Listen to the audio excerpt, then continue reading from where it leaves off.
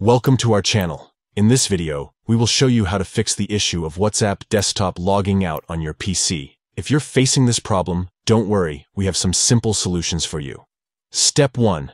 Enable background apps permissions for WhatsApp. To do this, press the Windows key and the letter I on your keyboard simultaneously to open Windows settings. Then click on Privacy. Next, navigate to the Background Apps section in the left panel and switch the button next to WhatsApp to the On position. Step 2. Reinstall WhatsApp from the Microsoft Store. Sometimes, reinstalling the app can resolve any issues related to logging out. Head to the Microsoft Store, search for WhatsApp, and click on Install to reinstall the app. Step 3. Update your Windows to the latest version.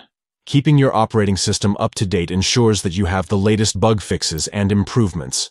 Check for updates and install any available updates for your Windows. Step 4. If none of the solutions mentioned above work, you can switch to using WhatsApp Web. WhatsApp Web allows you to access your WhatsApp account through a web browser on your PC. Simply open a browser, go to Web, WhatsApp.com, and follow the instructions to connect your WhatsApp account. By following these steps, you should be able to fix the issue of WhatsApp desktop logging out on your PC. Thank you for watching. And if you found this video helpful, don't forget to like and subscribe to our channel for more useful tutorials. Stay connected.